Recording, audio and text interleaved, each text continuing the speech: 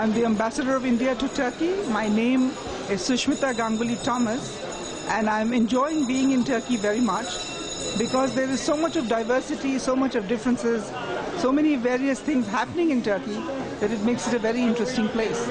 And primarily, I would like to congratulate, congratulate Channel A9 for your first anniversary.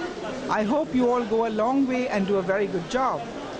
I think media plays a very important role in spreading the message of peace and diversity. And I'm so glad to see that your channel is represented here today. Uh, the idea behind this conference, Alliance of Civilizations, is fantastic.